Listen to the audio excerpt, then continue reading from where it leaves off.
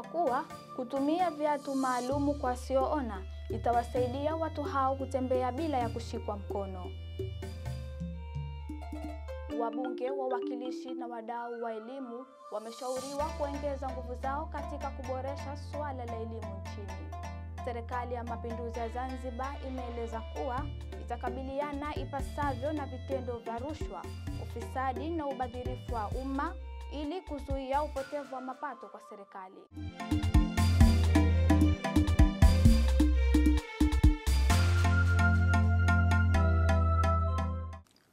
Hali gani na hujambo mpenzi mtazamaji wa TIFF TV popote pale ulipo. Hii ni taarifa ya habari tuliokuandalia kwa siku hii ya leo. Msomaji wako Sidrat Khamis, karibu uwe nasi. Imeelezwa kuwa kutumia viatu maalumu kwa wasioona itawasaidia watu hao kutembea bila ya kushikwa mkono. Nusra Shaban ana taarifa zaidi. Akifafanua kuhusu matumizi ya viatu hivyo katika maonyesho ya wiki ya elimu ya juu yaliyofanyika Kisonge, wilaya ya Mjini, mwanafunzi kutoka taasisi ya sayansi na teknolojia Karume, ndugu Othman Alifaki amesema Hii inaitwa ultrasonic sensor. Kazi yake ni kusense obstacle. Napozungumzia obstacle ni any object ambayo itakuwa fuadi, Kama wewe mtu, wewe ni obstacle. Ukiwepo jiwe hapo ni obstacle, ukiwepo ukuta ni obstacle. Hata kama barafu litakaa mbele ni obstacle. Kwa itakuzuia wewe usifike ile sehemu. Kwa hii kazi yake ni kusense na baadaye ita respond kutoa majibu humu ndani na mtambo kamili ambao ndio utatoa output. Ameongeza kuwa watu wasioona wanahitaji uangalizi wa hali ya juu, hivyo kwa kupitia viatu hivyo vitawaongoza katika safari zao. Ukimwacha peke yake kwake ni hatari. Kuna watu wengine watovu tu wa nidhamu za maadili, anaweza kamkuta na fimbo kaipokonya tu bila sababu. Si watu washavurugwa na maisha, lakini anapovaa hichi kiatu kama kiatu chake mwenyewe kinamsaidia kumwongoza. Kwa upande wake mwalimu kutoka taasisi ya sayansi na teknolojia Karume, ndugu Mohamed Mwadini Haji amesema kuwa kuna changamoto mbalimbali zinazojitokeza ikiwemo suala la kuileta teknolojia katika uhalisia. Kuileta teknolojia katika uhalisia, changamoto zinakuwepo nyingi, kwa sababu kwanza, changamoto zinazokuwepo si watu wote ambao wanajua teknolojia.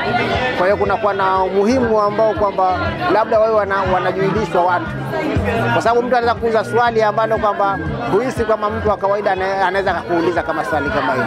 Nikiripoti Nusra Shaban, Tifu TV. Shukrani sana mwanahabari wetu Nusra Shaban kwa taarifa hiyo. Wabunge, wawakilishi na wadau wa elimu wameshauriwa kuwekeza nguvu zao katika kuboresha suala la elimu nchini. Mwanahabari wetu na taarifa zaidi. Ushauri huo umetolewa na mkuu wa mkoa wa Kaskazini Pemba, Salama Mbaru, wakati akizungumza na wawakilishi hao wa wananchi katika kongamano la kuboresha huduma za elimu lililoandaliwa na Jumuiya ya Sauti ya Vijana Pemba, Pemba Youth Voice Organization, lililofanyika Wete, mkoa wa Kaskazini Pemba. Amesema ipo haja kwa wadau kuliangalia kwa umuhimu mkubwa suala la elimu. Kwa upande wa waheshimiwa wabunge, tunafahamu katika majimbo yetu ya yakoje shughuli zetu, lakini na wawakilishi ni vile vile. Niombe sana sasa hivi fedha zile za mfuko wa kuchochea maendeleo kwa upande wa wabunge wa Jamhuri ya Muungano wa Tanzania, lakini pia kwa wajumbe wa Baraza la Wawakilishi Zanzibar, zile fedha zimekuwa tayari. Niombe tukae tuangalie kipaumbele cha suala zima la elimu. Kwa upande wake mjumbe wa jumuiya hiyo Othman Aljuma amesema katika utafiti waliofanya wamebaini kuna changamoto kubwa katika miundombinu ya elimu ikiwemo upungufu wa vyoo maskulini. mkoa wa Kaskazini Pemba 14 ambazo jumuiya ilifanyia ufuatiliaji kwa lengo la kujionea hali halisi ilivyo iliweza kubaini kuwa suala kubwa ni uhaba wa miundombinu wa vyoo kulingana na wanafunzi waliopo. Tatizo hili takriban shule zote ambazo zimetembelewa, basi ndio likuwa ni tatizo kubwa kwa mashule hayo. Unakuta miundombinu wa vyoo ni hafifu ama haiendani kulingana na idadi ya wanafunzi walipo, lakini pia tukiangalia ta- tamko la sera ya elimu kama ambavyo linaeleza. Naye afisa mdhamini wa Wizara ya Elimu na Mafunzo ya Amal kisiwani Pemba, Mohamed Naso, na mkurugenzi wa halmashauri ya wilaya ya Mcheweni, Hamadi Mbwana Shehe, wamekiri kuwepo kwa changamoto kadhaa maskulini, huku wakisema kuwa serikali imejipanga kutatua changamoto hizo. Serikali imeendelea kuchukua juhudi na hata hivi karibuni imetaja skuli ya Tumbe, imetaja kwa skuli kwa skuli za wilaya ya Micheweni. Basi kuna skuli ambazo kwa kutafuta ufadhili wa wenzetu basi tume, tume tuna, tuna, tuna, tuna imani sana kubwa na tumeshapewa hiyo ahadi kwamba baadhi ya skuli zita ikiwemo skuli ya Tumbe msingi kama ilivyo ilivyokuwa imeonekana na changamoto na sisi tumeweka kipaumbele. Tulichokipanga hatua mwanzo, wanafunzi wote wa sekondari tutawaondoa kwenye madawati, tuwaweke kwenye viti na meza, halafu yale madawati tutawashia msingi. Kwa msingi tutapeleka viti na meza plus na madawati. Nia na madhumuni ni kuondoa wanafunzi chini, lakini uh, plani nyingine ni kujenga vyumba vya madarasa, na kwa mwaka huu Mungu akipenda, tumekuja na mkakati wa kujenga magorofa mpaka primary level. Nikiripoti kutoka Pemba, Abdalla Amur, TFTV. Serikali ya Mapinduzi ya Zanzibar imeeleza kuwa itakabiliana ipasavyo na vitendo vya rushwa, ufisadi na ubadhirifu wa mali za umma ili kuzuia upotevu wa mapato kwa serikali. Hayo yameelezwa na mkurugenzi wa kinga dhidi ya rushwa ndugu Makame Hamisi Hassan wakati akizungumza na waandishi wa habari huko Vuga.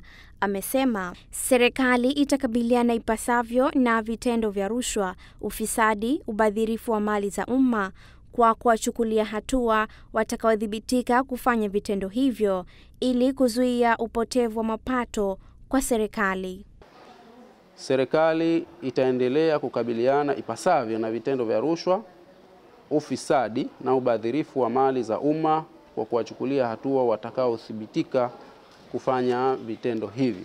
Katika kipindi cha Julai 2020 hadi Juni 2021, jumla ya fedha za Kitanzania milioni 400 na kumi na moja laki tatu na elfu arobaini na nne mia saba na ishirini na nne nukta tatu zero zimeokolewa baada ya kufanyiwa uchunguzi wa tuhuma zilizohusisha kukwepa kodi, ubadhirifu na, ufu, na, ufu, na ufuatiliaji wa utekelezaji wa miradi ili kuhakikisha thamani halisi ya fedha katika miradi hiyo inaweza kufikiwa. Pia amesema kuzuia na kupambana na rushwa sio tu wajibu wa mamlaka ya kuzuia rushwa na uhujumu wa uchumi Zanzibar, bali inajumuisha wananchi katika ngazi zote ili kuhakikisha rushwa inamalizika. bali unajumuisha wananchi katika ngazi zote. Ni vyema juhudi hizi ziongezwe ili kuhakikisha rushwa inapungua na hatimaye kumalizika kabisa. Aa, Kwa kumalizia, ili kufikia lengo hilo, ni jukumu la kila mwananchi kuhakikisha uovu wa vitendo vya rushwa na uhujumu wa uchumi havifumbiwi macho kwa wanaopokea, wanaoshawishi, wanaorahisisha na wanaoficha taarifa za matendo ya rushwa na uhujumu wa uchumi kwa kutoa mashirikiano ya dhati kwa ZAECA ili hatua za kisheria ziweze kuchukuliwa kwa wahusika. Hata hivyo, ameelezea kuwa mamlaka hiyo imepokea jumla malalamiko 382 tokea Julai 2020 hadi Juni 2021. Kati ya malalamiko hayo, tuhuma 280 zinaendelea kufanyiwa uchunguzi na tuhuma 59 zimefungwa baada ya kukosekana ushahidi. Aidha, majalada 29 yameshafikishwa kwa mkurugenzi wa mashtaka kwa madhumuni ya kufunguliwa mashtaka na kupatiwa ushauri wa kisheria. Majalada 18 yamehamishiwa taasisi zinazohusiana na tuhuma hizo. Aidha, tuhuma 15 zimefanyiwa udhibiti kutoka, kutokana na kuto kukamilika au kukosekana kwa ushahidi. Nikiripoti kutoka hapa ofisi ya Zaeka, Fadhila Amor, Tifu TV. Shukrani sana mwanahabari wetu Fadhila Amur kwa taarifa hiyo. Ndiyo iliyotukamilishia taarifa ya habari hapa ndani ya Tifu TV, na kabla ya kukamilisha taarifa ya habari, tujikumbushe tena muhtasari wake. Imeelezwa kuwa kutumia viatu maalumu kwa wasioona itawasaidia watu hao kutembea bila ya kushikwa mkono. Wabunge, wawakilishi na wadau wa elimu wameshauriwa kuongeza nguvu zao katika kuboresha suala la elimu nchini.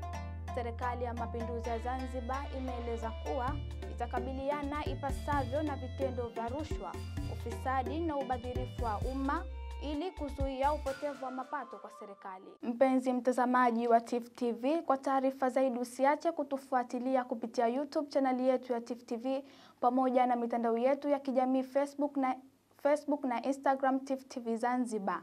Mimi ni Fadhila Amur. Usiache kutufuatilia kupitia YouTube channel yetu ya Tifu TV, bila kusahau kule Instagram tunatupatikana kwa Tifu TV Zanzibar na Facebook Tifu TV Zanzibar, ili kujua mambo mengi na matukio mengi yanayotokea katika jamii. Tifu TV tupo kijamii zaidi.